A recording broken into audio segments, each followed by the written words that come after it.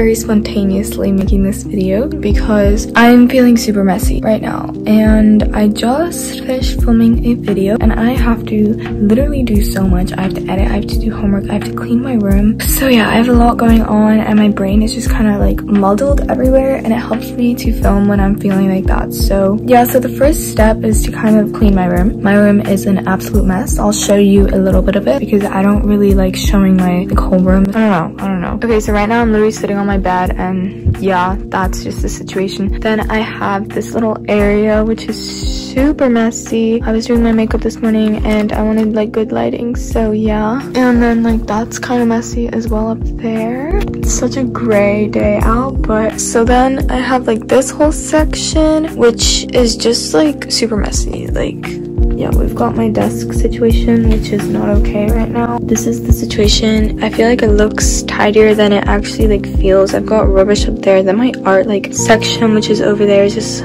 so messy. And then also, these are all the videos that I took today. My laptop is like dying. Like everything is just so crazy right now. My floor is also a mess. And then finally, I've got this area, which is a big mess as well. So basically, in conclusion, I have a lot to do. Um, it is currently 3.10 right now and please ignore what I look like. Please ignore the state I'm in because I feel like in my videos, just I'm very different in like each video and today I'm a little bit just like more messy and I'm not liking my hair situation but I'm literally just clean cleaning my room so god I literally have like cups everywhere as well. I'm gonna listen to some music while I do this and I'm just gonna film a little bit like a time lapse. Um, yeah.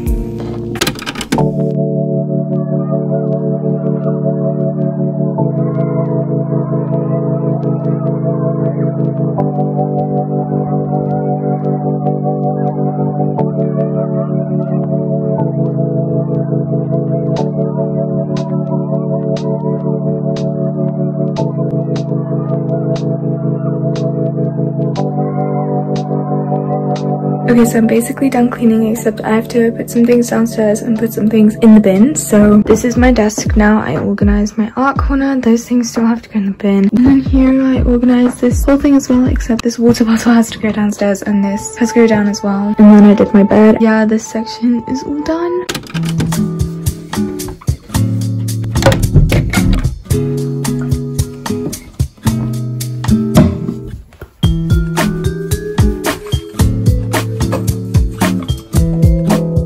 A lot of you have also been asking for a room tour, but I feel like that's like the closest we're gonna get with a room tour because I'm not really sure if I want to show my full room. I also have lots of photos of people close to me around my room and I feel like it would just be a lot of work to just censor everything. So that was a little peek into my room and yeah. Okay, so right now I'm at a point where everything else that I need to do, I really don't want to do. It's like sitting down at a desk and doing something. So the first thing I'm going to start with is editing. Why am I out of breath.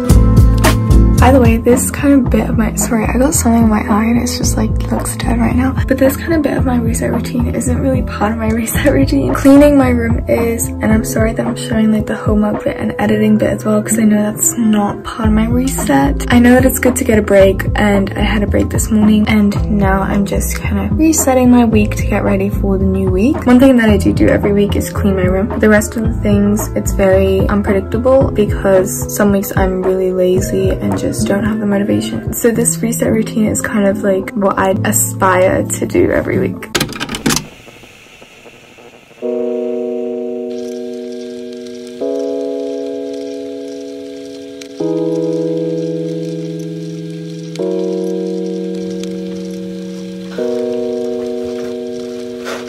I'm not sure if you but I'm not feeling the best. There's like a cold going around at my school and I think I caught it. Not sure if I should go to school tomorrow because it's Sunday right now. But I do have a list of things to do like for the rest of my kind of reset routine. This is kind of a very bad reset routine just because I still have so much homework to do. And so like half of this is homework which defeats the whole purpose of a reset routine. For the purpose of this video, I'm just gonna show the bits that are part of my reset routine but I want to be transparent with you guys and let you know that like at this point in time I don't really have a very secure reset routine but in the future I might make another video once I do have one. I just wanted to make this video to try and motivate myself to have a kind of like reset. I want to watch a movie today. I'm trying to go through all Marvel movies in chronological order and currently I'm up to Thor the Dark World so I want to watch that today which will probably be at night after I finish all my homework. I also am gonna make a tea because I feel like that's like a nice comforting thing especially on such a cloudy rainy day today. And then lastly I want to paint my nails. I am making a glow up video which is currently failing because my mind is everywhere but I don't want to get like gel nails or acrylic nails. I usually don't go to nail salons. I've only ever been on like birthday parties or for my birthday one time but basically my nails are quite short.